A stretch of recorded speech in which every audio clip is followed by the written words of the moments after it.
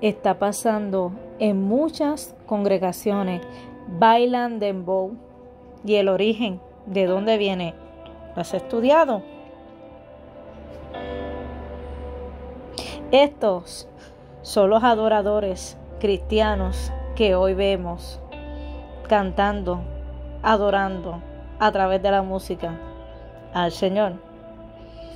¿Has estudiado el origen de esa música? Por otra parte, esto es lo que vemos en las congregaciones, las alas Isis, supuestamente alabando al Señor en las congregaciones. Hay diferentes colores y la usa mucho la blanca.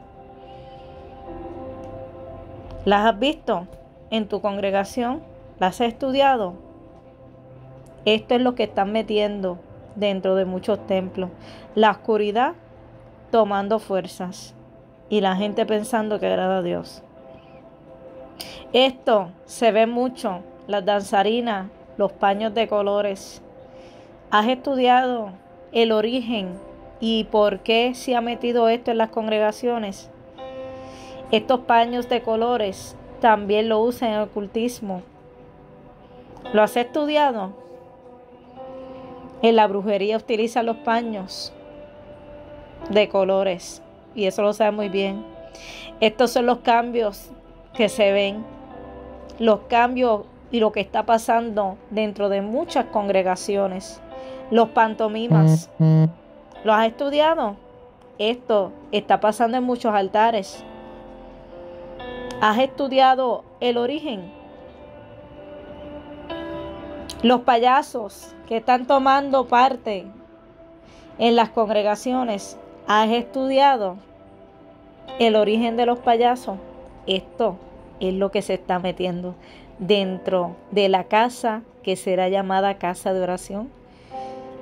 Este es la forma que muchas damas y caballeros están entrando a las congregaciones. ¿Dónde quedó el pudor y la modestia? El recato que dice las Sagradas Escrituras. Así están los ministerios, los caballeros también, que muchos cambios se ha visto en la iglesia, ¿verdad? La ala Isi es adorando a la diosa Isi, si no lo sabía, pero muchos pastores permiten y no disciplinan a los hermanos ni les dice que no se puede hacer por tal de que los hermanos no se vayan o dejen de ofrendar o diezmar. Dios te ha llamado a pastorear, no a ser un lobo rapaz. Ten cuidado, pastor. No engañes al pueblo. Háblale la verdad. Que estudien los orígenes de las cosas que han entrado dentro del pueblo de Dios. Idolatría también entrado. Y no solamente de estatuas, sino que hoy idolatran a los hombres.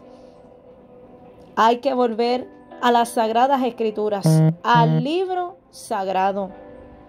No te calles, no tengas temor, habla, porque la verdad os hará libre. Dios te bendiga y si has visto esto en tu congregación, habla y pregunta, ¿han estudiado el origen? Dios te bendiga.